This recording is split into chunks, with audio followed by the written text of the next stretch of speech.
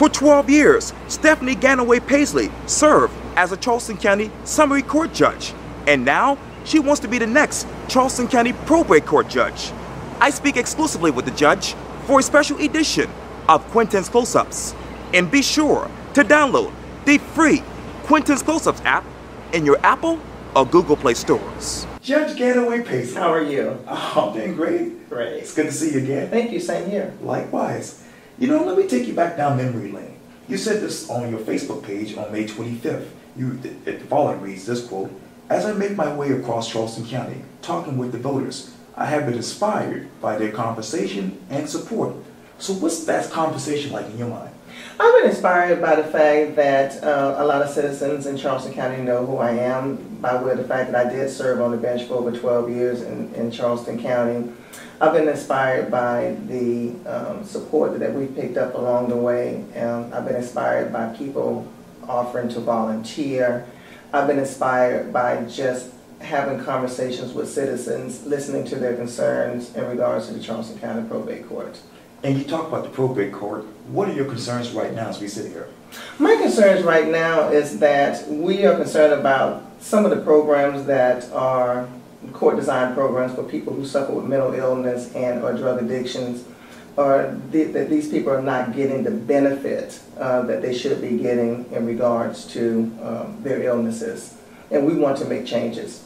Let me go back to your experience, and it reads this on your Facebook page, quote, Honorable Stephanie Ganaway Pasley is the only Democratic candidate that is a retired judge with more than 12 years of experience interpreting law in South Carolina. Can I stop there? Yes. The law in South Carolina.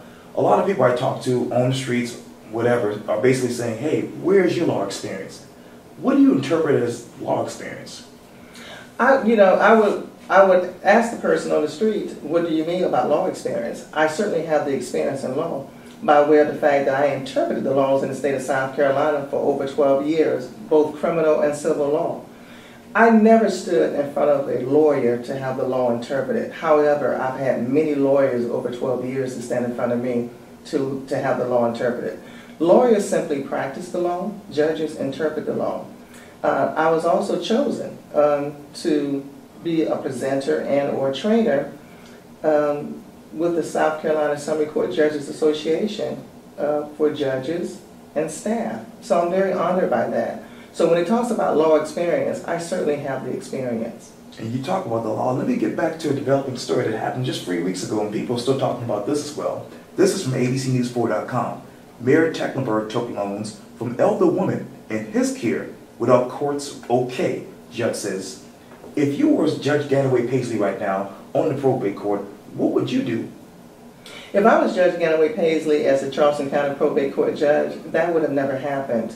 Uh, it is the judge's responsibility to make sure that whoever is appointed as a trustee and or guardian and or conservator understand their responsibility and their role and that they are good stewards. June 13th. Let's fast forward there. Write the headline. Judge Stephanie Ganaway Pasley is what?